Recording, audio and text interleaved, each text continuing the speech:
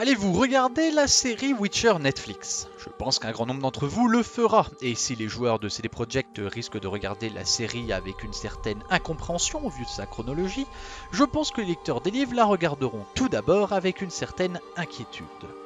En effet, comment une série, Netflix qui plus est, limitée en nombre d'épisodes et nous imposant son propre rythme, arrivera-t-elle à faire honneur aux livres qui composent l'œuvre Witcher? En parallèle, il y a de fortes chances que de nombreuses personnes se jettent sur les livres sorceleurs écrits par l'auteur polonais Chapowski, craignant l'attente ou même l'annulation de la série comme Netflix a l'habitude de le faire. Ils découvriront ainsi une forme de narration bien différente que celle qu'impose une série, avant tout visuelle. Et j'aimerais justement m'intéresser à comment le livre nous raconte son histoire, puisque de toute façon la série n'est pas encore sortie. Bien que j'ai déjà traité de l'univers Witcher auparavant sur cette chaîne, mais d'un point de vue du lore, il ne faut pas oublier que les livres sont avant tout une œuvre littéraire, dans le sens qu'ils nous servent leur univers et leur histoire à travers les moyens qu'ils ont à leur disposition. L'objectif de cette mini-série de vidéos est donc de présenter les livres qui composent The Witcher. J'espère ainsi vous montrer comment, selon moi, la façon dont les livres sont écrits et narrés participe directement à rendre l'univers Witcher vivant auprès des lecteurs. J'essaierai évidemment de minimiser les spoilers pour ceux qui aimeraient découvrir les livres.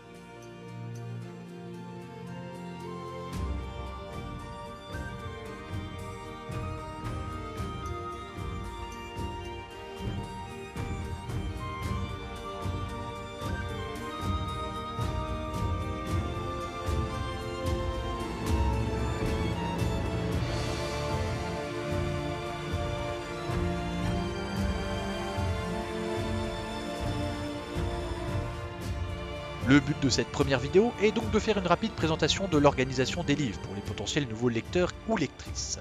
Puis j'enchaînerai sur une première analyse de l'œuvre Witcher dans sa globalité. Les futures vidéos s'intéresseront plus en détail aux différents livres.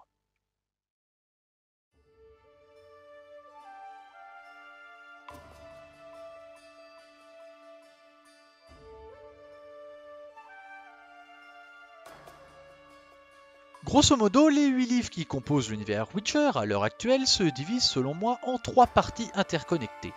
Les deux premiers livres recueillent de nouvelles qui introduisent l'univers en vue de la saga, les livres 3 à 7 qui composent la saga en elle-même et nous content la légende du sorceleur et de la sorceleuse, et le huitième livre, sorte d'histoire indépendante bien que partie intégrante de l'univers.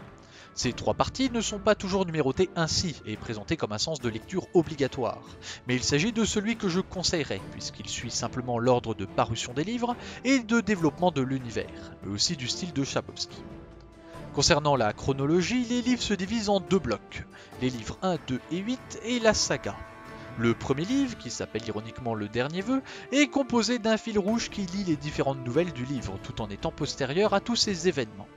Le huitième livre, La saison des orages, se déroule lui-même juste avant la toute première nouvelle du dernier vœu, mais trouve sa cohérence dans la lecture des autres livres le précédent.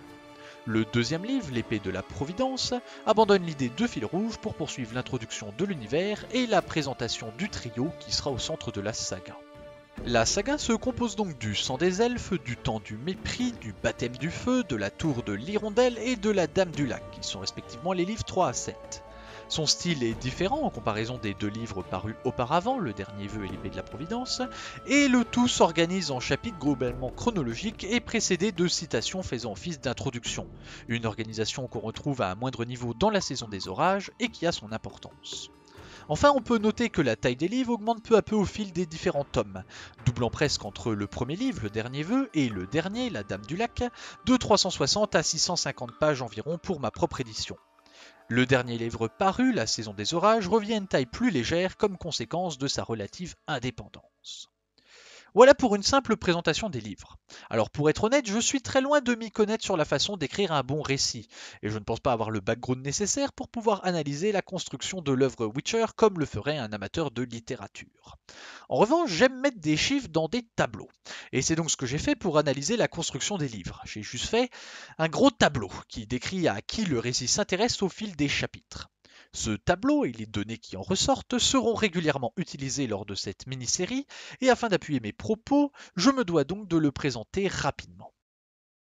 Mon tableau résulte de l'analyse rapide, chapitre après chapitre, des personnages qui sont au centre de la narration.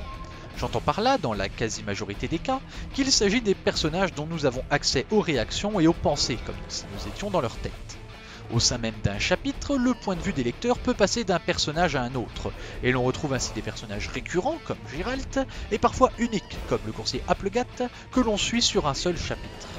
J'ai ensuite noté quelques éléments d'intérêt pour chacun de ces chapitres ou livres, et surtout j'ai calculé le nombre de pages dédiées à chaque point de vue. Ce dénombrement du nombre de pages, rapporté au nombre de pages total, m'a permis de définir la proportion de la narration qui s'intéresse à chaque personnage à différentes échelles, la saga ou les livres. Bien que mes résultats souffrent de quelques approximations, je pense que le tableau obtenu remplit son objectif, savoir à qui s'intéresse le récit et comment ce dernier s'organise.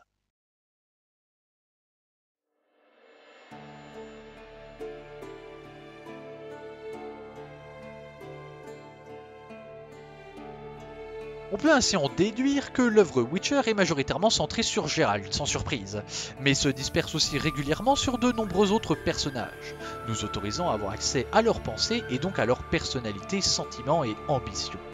L'ensemble de l'œuvre Witcher nous présente alors près de 78 points de vue différents sur plus de 3700 pages, dont 70 points de vue au sein de la saga seulement, qui compte presque 2500 pages et compose donc le gros de l'œuvre Witcher.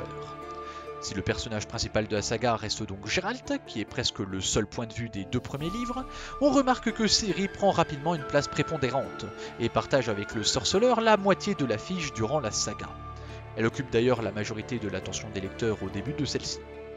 Geralt reprend ensuite les devants de la narration avec le livre dédié à la Hanse, mais Ciri reste sans aucun doute le second point de vue de la saga jusqu'à sa conclusion, où son personnage gagne en complexité, ce que la seule analyse du nombre de pages ne révèle pas ici. J'y reviendrai dans la suite de cette mini-série. Ensuite arrive Jasquier, dont l'importance s'explique de par sa proximité avec le point de vue des lecteurs, puisque lui-même est un spectateur de premier plan de la légende du sorceleur et de la sorceleuse qui se déroule devant lui. Il est alors un point de vue régulièrement suivi durant les quatre premiers livres de l'œuvre Witcher. Triss, partagé entre sa proximité avec Geralt et Ciri dans les premiers livres de la saga, puis les intrigues de la loge des magiciennes dans les derniers, occupe une place importante, devant même Yennefer, pourtant membre du trio central de la saga. Très présente dans l'œuvre comme personnage non suivi par les lecteurs, nous n'accédons au point de vue de la mère adoptive de Ciri qu'après les événements de Tannet dans le temps du mépris, c'est-à-dire dans la deuxième moitié de la saga. Arrive ensuite tout un tas de personnages souvent associés à un élément de l'histoire de la saga. La guerre ou l'aspect politique se concentre autour de Fringia Vigo, Jar ou Ditchra, ainsi qu'une grande diversité de personnages anecdotiques, en particulier dans les derniers livres de la saga. Les quêtes personnelles de Geralt et Ciri nous sont décrites à travers le point de vue de Milva, Visogota, Kena Selborn ou Boreas Moon, qui arrivent eux aussi assez tard.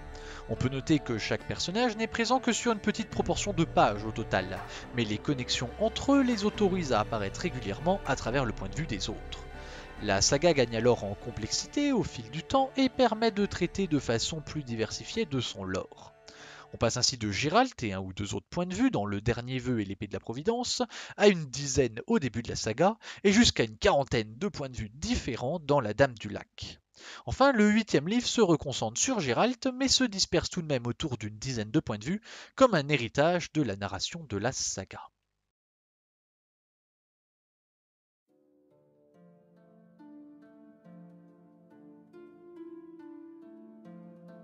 On retrouve évidemment cette forme de narration dans de nombreuses autres œuvres, celles qui me viennent à l'esprit immédiatement puisque je les ai lues, étant l'archi-connu Game of Thrones ou la française Horde du Contrevent, qui vont aussi permettre au lecteur d'avoir accès au point de vue de différents personnages.